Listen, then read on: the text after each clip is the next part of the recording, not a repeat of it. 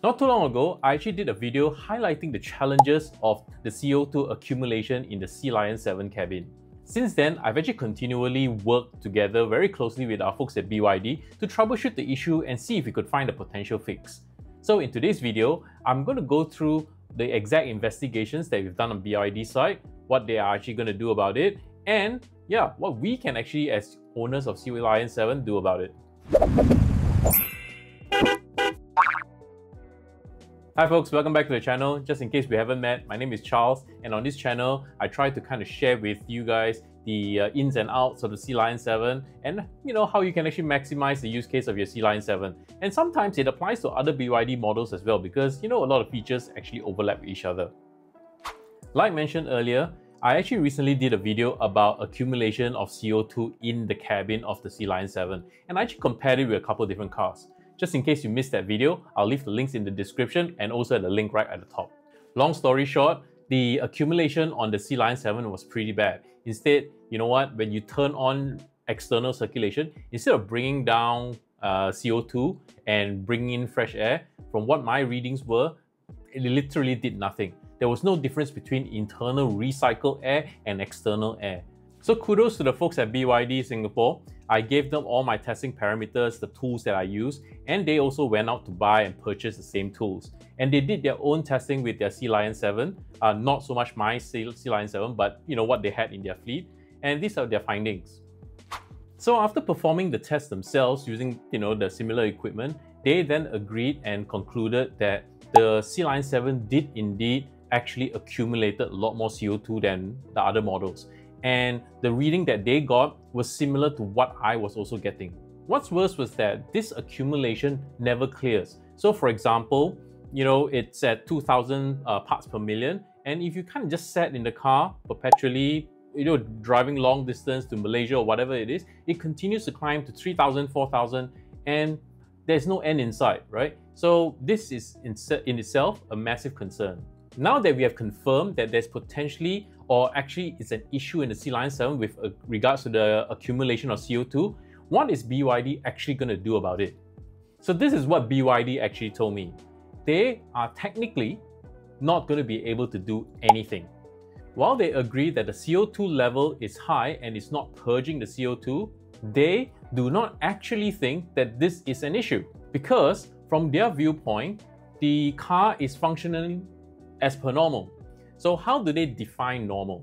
So they were telling me that there was no faults in the system. You know, they plug in the computer, there's no faults. They even actually showed me and shared with me a video of the vents actually opening up and letting air through. So my argument to them was very simple.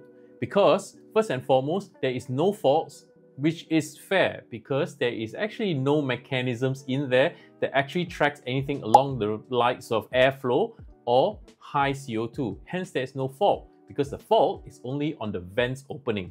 And from the video I shared earlier, yeah, the vents open fine. So from their perspective, there's nothing wrong with the car.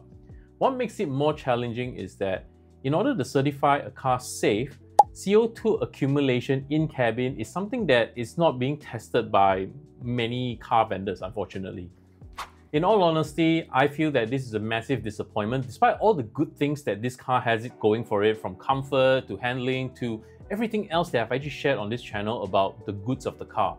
But you know what? This is quite a fundamental flaw of the car that I think BYD should at some point address it. Some have dropped me comments and say, hey, you know what? Why, why are you so hard up on uh, this particular feature? It is not because of anything else, but the mere fact that if you put a feature in a car which is fairly rudimentary, internal circulation versus external circulation, at this juncture, from where I'm actually seeing it, those two buttons mean nothing to me because either one that I use is exactly the same. So meaning if I ever go for a long distance travel, there is no way I can actually have um, air coming into the cabin as and when I need it. As of the last video, I also got a lot of comments from the viewers, so I kind of want to, you know, clarify certain aspects of it as well. So first and foremost, I know the car actually comes with the auto circulate and internal circulation and external circulation mode, where when it's in motion, external circulation happens, and when the car stops, internal circulation happens. So just so you know, all the tests that I did in the previous video were with that feature disabled. So I know that auto feature comes in and I was well aware of it. So hence I actually disabled it. And there were some interesting comments that actually mentioned that, hey, you know what? There is a difference between CO and CO2. And uh, carbon monoxide is the one that kills you, and CO2 is the one that doesn't kill you. It's only the plants that use CO2. Well, I mean, everybody's got their viewpoint. Uh, I, I never once said in the video that CO2 is going to kill you, but definitely CO2 contributes to drowsiness, etc., etc. I think that's proven. Obviously, some people are a little bit more susceptible to it and some not so. But yeah. Anyway, coming back to the topic, I've actually tried very hard to push BYD to do something, but at this juncture, it doesn't seem like they are willing to do anything more. Um, I'm not too sure what I can do next and what buttons I can press. Maybe if you guys have any idea of any escalation points, you can leave me a comment below and maybe we can, you know, work something together. But having said that, as of today, what can we as Sealion 7 owners or potential owners actually do? Thankfully, there's actually two workarounds that I've actually figured out. The first workaround is a very simple workaround and if it is one of those methods that flushes out the most air out of the car in the shortest possible time. But it's a little bit uncomfortable, especially when it's a hot weather. All you need to do is turn off the air conditioning and turn it into fan mode. And when you set it to fan mode, you kind of max out the fan mode and your fan just blows hard. So as you can imagine during a hot summer day, fan only without AC, yeah, can get kind of stuffy and warm. But interestingly enough, when you turn it on to fan mode only, it takes 100% external air in. So immediately I saw the numbers for CO2 drop down like in a matter of minutes. So that's actually one of those workarounds. The second workaround is something that I use a lot more often and it's a little bit more comfortable.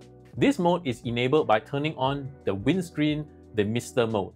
If you're not sure where this button actually lies, it's actually next to the start-stop button near the gear box or the gear levers. What happens during the window demister mode is that the air conditioning will then channel all air conditioning into the vents that is nearest to your windscreen. As part of that, the AC actually stays on, but the additional part of the window demister mode is that it actually takes in additional air from external. The whole idea here is to kind of regulate the temperature to demist the windscreen. But the side effect is it is actually taking in external air.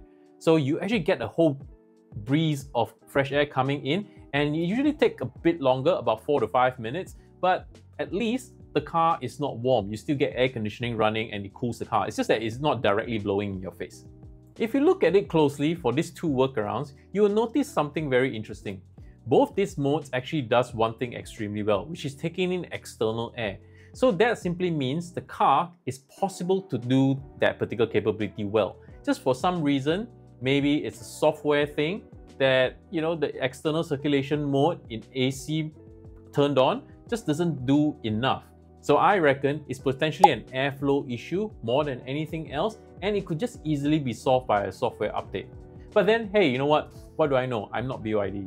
Anyway, I'm glad there's a workaround at least so we owners have something to kind of fall back on if that is something that we need to do. Uh, and until you know BYD decides to fix it. If you're a new owner or an aspiring Sealion 7 owner, there are other issues that you want to kind of look out for. And if that interests you, you might want to check out this video right up here. But with that, that's all the time I have for you guys today. And as always, thanks for tuning in and I'll see you guys in the next one.